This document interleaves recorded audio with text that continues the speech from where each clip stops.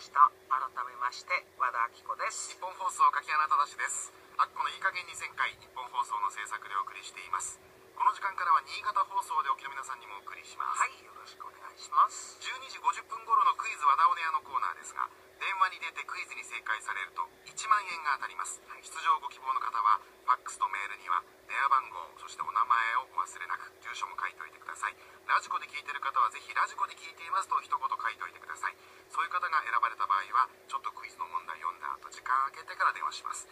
本当私ねこの間何かの時にラジコ聞いたんですよ。本当にずれますね。そうですそうです本当にずれます、ええ、あのイントロ聞いてで何の時だったっけなそうスマホでラジコにしてでなんか普通にラジオもつけといたそこでズレが分かりますで、うん、そうもうそれでトイレ行ってイントロかかったんでトイレ行ったらラジコでトイレあの戻ってきた時イントロかかってましたからねそれぐらいアコさんのトイレがいくら早いとはいえそうなの本当ずれるそうなんです、うんある程度だから時間を空けてから電話かけます、はい受付電話番号は東京03-3211-3222です電話は東京03-3211-3222ファックスは0570-021242 0570-021242メールアドレスは小文字で akko.1242.com akko.1242.com でお待ちしております。えー、あこさんは本当にあげまんですねというはいチャメさん49歳、はい。鈴木宗男さんの携帯電話のお話めっちゃ面白かったです。確かに自分の携帯で自分にかけたら出るわけないですよ、ね、そうです。かかるわけないですよね、はい。でもアッコさんと出会った方が、はい。後に成功したり有名になったりするんですねいやなんかたまたまですね。いやそういうことってあんまなくないですか？一般レベルで考えて。いやなんかその鈴木宗男さんのことで思い出して喋っただけではい。わかんないですけどはい。まあなんかご縁ですよね。まああのガッツ石松さんのね話が続きましたけれど、はい。あとまたこれは違う話なんですが、はい。墨田区のマリモッコリさんがですね、はい。先週デーブ・スペクターさんが、はい。アッコさんのエピソードを話してましたよ。え何ですか？デーブ・スペクターさんとアッコさんは、はい。同じマンションだそうですね。そうなんです。で数年前デーブさんの愛車が、はい。えーマンションの駐車場でなぜか爆発してそうなんですよ。炎上したことがあったすごいんですよ。えっとね消防車5台ぐらい来たわ何台もの消防車が駆けつけて、はい。当然大変な騒動になった。はい。でその中でアッコさんの車にも、まあ、消火の際に、うん。消火剤がかかってしまったそうですと。そうでしたっけ？デーブさんによると、その後申し訳ない気持ちで、うん。アッコさんとは1年くらい目を合わせられなかった。だってめったに合わないもん同じマンション。で業界のルールで、はい。えーお値段高めの水羊羹を差し入れして、ごめんなさいって謝罪をしたというエピソードを語ってましたが。ごめんなさい覚えてないわ。アッコさん覚えてないですか、はい。ああそうですか。あれ。デーブさんは車の新しいケアサービスの発表会にゲストで呼ばれて囲み取材で車のメンテナンスの質問の中ではい。いかに車のメンテナンスが重要かという話の中でこのエピソードを披露してました。あらあらあらそうなの消防車7台ぐらい来て他にも車あんのにデーブの車だけそういう火事になったからスパイだとかって言っちゃってスタンツタンターランツタンツタンとかって言いながらそんミッションインポッシブルにしたかったんだけど違う音楽で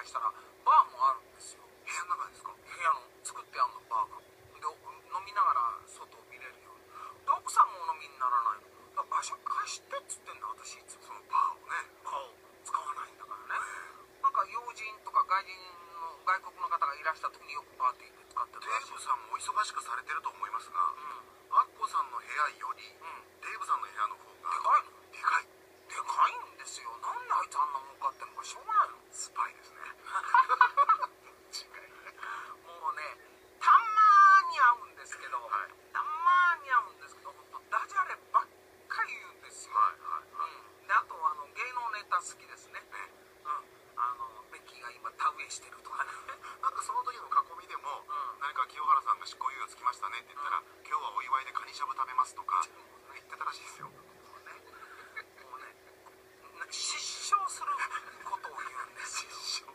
失笑が売りですからね。そうなまあ、そんなデーブ・スペクターさんの話題もありつつ、はい、それではこちらのコーナー参りましょう、はい、週刊和田スポ。今世紀最高視聴率。今週日曜日春風亭昇太さんが昇太司会者としてデビューしましたが平均視聴率が28.1%だったことが分かりました。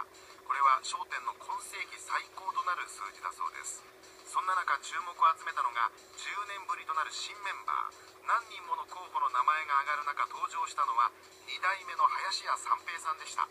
三平さん曰く日本テレビの上層部から新メンバーに選ばれたことを言わないように言命されていたそうで奥様も知らなかったそうです。さらに今年の24時間テレビのチャリティーマラソンのランナーに同じく笑点メンバーの林家たい平さんが選ばれたことが発表されました。51歳での挑戦となるたい平さんですが闘病中の師匠林家こん平さんにエールを送るためにもと決意したそうです。新たなる笑点の歴史のスタートです。執行猶予付き有罪。火曜日覚醒剤取締法違反と罪に問われた清原和博氏に懲役2年6ヶ月執行猶予4年の有罪判決が言い渡されましたこの日裁判の傍聴希望者は1713人倍率は82倍でした判決で裁判官は被告の覚醒剤に対する常習性は高く犯罪は悪質犯と批判しましたその一方で執行猶予をつけた理由として甲子園を沸かせプロ野球を代表する打者として活躍するなど野球界で社会的貢献をしてきたが厳しい社会的制裁を受けていると述べましたそんな中清原氏が自ら求めた保護観察付きは認められませんでした保護観察がつかなかったことで逆に言えば誘惑の魔の手が忍び寄る可能性も高くなり実際覚醒剤の再犯率は40代の場合7割以上にもなるそうです。果たして本格的な社会復帰はなるのでしょうか。アモーレ。木曜日サッカー日本代表で現在はイタリアでプレーしている長友佑都選手とタレントの平愛梨さんに結婚報道が飛び出しました。現在国際親善試合に出場のため帰国中の長友選手ですが取材に対して交際を認めました。その際大切な人だしアモーレですね。イタリア語で愛する人という意味です。結婚はしたいですと熱く宣言しました。平さんの妊娠報道についてはきっぱりと否定しました。そんなお二人の出会いは2014年1月フジテレビ系のもしもツアーズで一緒にレギュラーを務めるお笑い芸人の三平さんからのリクエストだったそうです。三平さんは大の長友選手のファンで当時都内で長友選手と友人平さん三平さんの4人で食事をしたそうですがそれをきっかけに長友選手と平さんが意気投合し結婚を前提とした交際へと発展したんだそうです。早ければ今月か来月には入籍すると見られていますが見事愛のゴールとなるんでしょうか。ラジオ初共演。木曜日松任谷由実さんとマツコ・デラックスさんがラジオで初共演することが分かりました。これはユーミンさんが日本放送で月1でパーソナリティを務める「オールナイトニッポンゴールド」で実現するもので放送は再来週の金曜日18日夜10時からです。お二人はテレビ番組では共演したことがありますがラジオでは初めて。ユーミンさんはマツコさんがブレイクする前から大物になりそうな雰囲気があると注目しており今回の共マツコに関しては私かなりの先物買いです。馬主になったつもりで知った激励しようと思ってますとコメント。一方のマツコさんは久しぶりのユーミンとの対面軽くビビってますかっこ笑いと緊張感たっぷりにコメントしています。大きなマツコさんがユーミンの前では小さくなるんでしょうか？なんか焦点なんか遠い昔のように感じますけど先週でしたっけ？そうですね。まあ日曜日ということもあるんですねなるほどいろんなところで取り上げてますもんね。焦点のここの普通ところはだっての内容がす局によってはね取り上げれないところあるんですけどそうですね、まあ、特にテレビの場合はそう他局になったりする場合ありますからねそうそうそうそうすごいですね。まあアンモレはもうしょうがないですね。これ今一番だから。そんなハートマーク作ったんですか？ははい。なんか試合終わった後にね。あ。スタジアム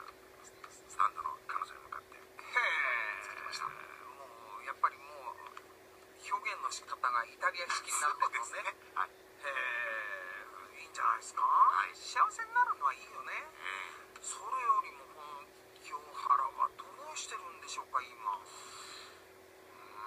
なんか、あ、報道はあんまないですよね。この自ら求めた保護観察ってのはどういう意味なんですか？あの保護観察というのは再犯防止のために、うん。まあ、もちろん社会復帰を支援する制度なんですけれど、うん、ずっとある特定の人がですね、はい、保護士がこう清原さんのる種こう監視するというか、ははは。えー、でそう監視してほしいって自分から求めたんですね清原さんは。自分のことを監視してほしいと。はいはいはい。